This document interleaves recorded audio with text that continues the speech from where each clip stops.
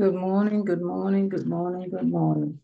Today's uh, scripture verse is, coming from Matthew's the sixth chapter, and I'll begin reading at verse 24 and conclude at verse 34, as this is a second in the series of looking at putting God first.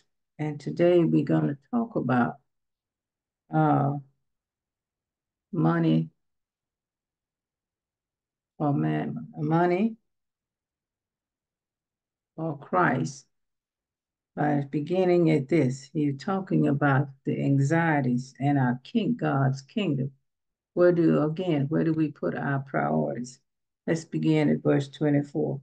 No man can serve two masters, for either he will hate the one and love the other, or else he will hold to one and despise the other.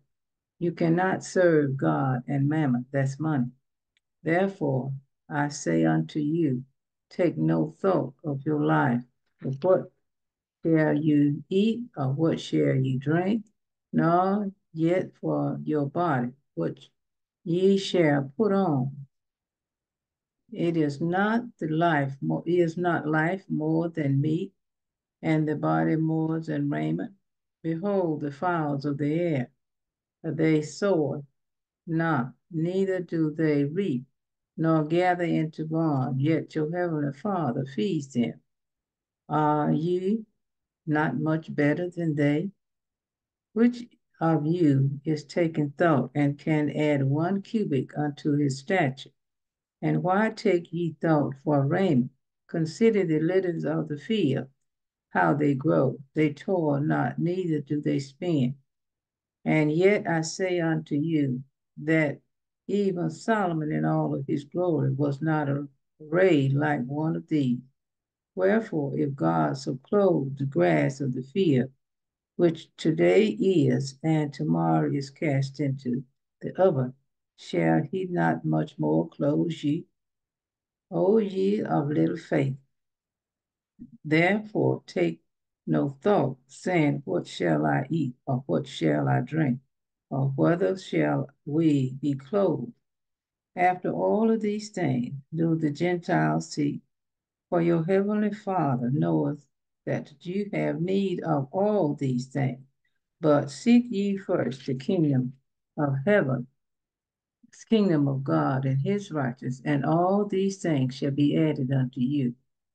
Take therefore no thought for tomorrow, for tomorrow shall take thought of these things in itself. Sufficient unto the day is the evil thereof, the word of God for the people of God. I say again, this is the second in the series of talking about uh, getting our priorities in order. And it appears as though man has put God on the back burner or even taking him out completely out of his life. And he's so focused on earthly possessions that he is um, going to any length and by any means necessary to gain wealth. And our scripture, uh, very first scripture, 24, talks about that no man can serve two masters, for either he will hate one and love the other, or else he will hold to one and despise the other. Then he repeats it. You cannot serve God and mammon. He said, you can mammon in this is money uh, or our worldly possession. And he goes on to really solidify his points when he asks those thought-provoking questions and he said, Why you take thought for your life? And what should what should I eat? What should I wear? What should I drink? Then he tells them, For now listen, even the lilies of the field, they are array in all of their beauty.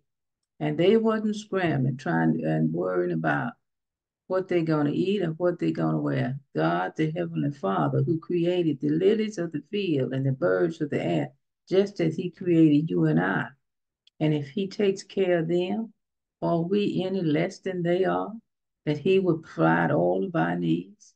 And in verse 33, he says, he gave a very strong warning and advice.